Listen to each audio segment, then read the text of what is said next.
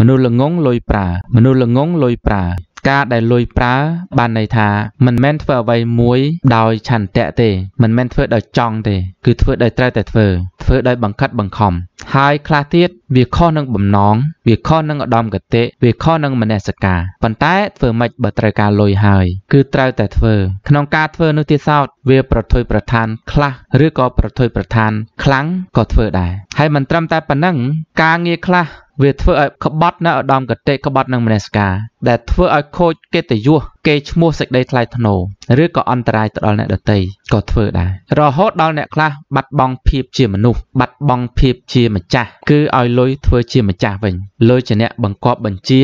ឬក៏ត្រួតត្រាវិញចំណែកឯមនុស្សឆ្លាតគេប្រើលុយការប្រើលុយបានន័យថា ប្រើទាំងលុយធ្វើការដើម្បីបង្កើតលុយដូចជាការជួលមនុស្សមកធ្វើការដូចជាការទិញរបស់របរប្រើប្រាស់ដូចជាការសម្រេចបំណងសម្រេចផែនការដូចជាការធ្វើអ្វីមួយដោយប្រើលុយហើយស្របទៅតាមបំណងឆន្ទៈឧត្តមគតិមនសិការដោយមិនធ្វើរឿងដែលនាំឲ្យបាត់បង់តម្លៃបាត់បង់សេចក្តីថ្លៃថ្នូរឬក៏បាត់បង់ខ្លួននោះទេ ហើយក្នុងនោះទៀតសោតគេធ្វើអ្វីដែលគេចង់មិនមែនធ្វើអ្វីដែលគេត្រូវតែធ្វើឥឡូវនេះយើងដឹងអញ្ចឹងហើយប៉ុន្តែភាកច្រើនមិនទាន់បានធ្វើកិច្ចការងារឬក៏មិនទាន់បានធ្វើអ្វីៗទៅតាមសេចក្តីប្រាថ្នាឬក៏ចិត្តខ្លួនឯងនៅឡើយទេ មានសម្ពាធបញ្ហាគ្រួសារត្រូវការលុយឥឡូវយើងគ្រាន់តែដឹងសិនទៅយើងគ្រាន់តែដឹងថាការដែលលុយប្រើវាយ៉ាងម៉េចហើយការដែលប្រើលុយវាយ៉ាងណាបើភាកច្រើននៅពេលនេះយើងលុយប្រើព្រឹកឡើងលុយដេញឲ្យទៅធ្វើការ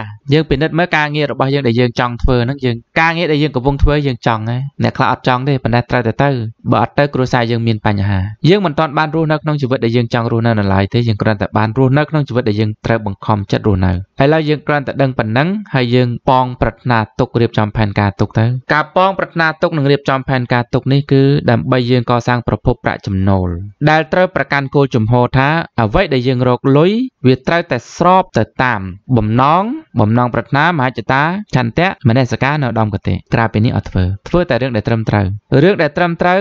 យើងក៏អាចនាំឲ្យយើងខ្លាចជាអ្នកមានដែរក៏អាចឈានទៅដល់សេរីភាពហិរញ្ញវត្ថុសេរីភាពពេលវេលា បានសេរីភាពហិរញ្ញវត្ថុនិងសេរីភាពពេលវេលាហើយមិនទាន់គ្រប់គ្រាន់ទេត្រូវមានសេរីភាពផ្លូវចិត្តផ្លូវគំនិតនិងផ្លូវសុខភាពទៀតគឺ5ណាសេរីភាពផ្លូវគំនិត1ផ្លូវចិត្ត2សុខភាព3ហិរញ្ញវត្ថុ4ពេលវេលា5ត្រូវមានតែ5ហ្នឹងទើបយើងខ្លាយទៅជាអ្នកដែលប្រើប្រាស់លុយពិតប្រាកដបើមិនបានប៉ុណ្្នឹងទេ នោះលុយវាកំពុងតែប្រើប្រាស់យើង